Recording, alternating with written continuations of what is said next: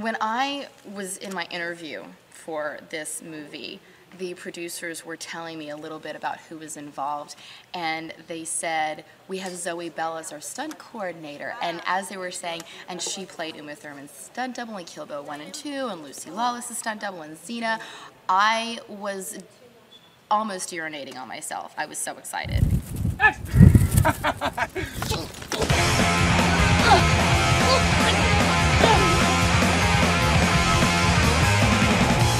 Zoe Bell, and I am the stunt coordinator slash Camero double slash occasional Hel double, and I was also Kinky's opponent. Um, I'm a multitasker. Not sure what my title's going to be, but coordinator I think is probably the most prominent one.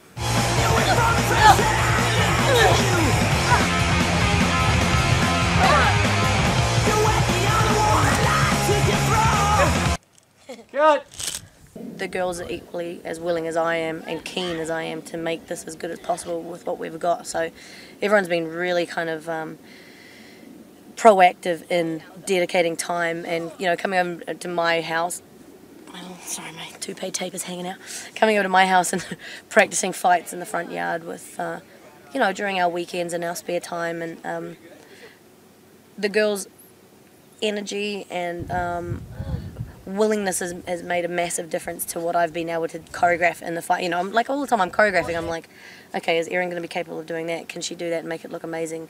What can America do? Can I throw this in there? And as well as you know, obviously what the characters would do. But uh, so it's been really great for me to be able to see how they move, and they're both so willing and excited about it that it's sort of it stopped me having to be, you know, because it was definitely a concern for me when you, when when the the characters were being cast. I was like, dude, tell me her background's not just that. You know, please tell me she's actually flexible or she's capable. She's not going to complain about breaking a nail or you know, like not just because that would be not because that would be bothersome to me, but if you're trying to make an action fight about women, and you want quote unquote, you know, the best women's fight in cinema history, then you want people that are capable of selling that, you know. And these, I think these girls are, and and uh, it's exciting for me to be able to choreograph something that I that I would enjoy doing myself. You know, actually, I mean, obviously, I'm getting to do it myself as well, but um, so it's been really exciting for me to work with these girls.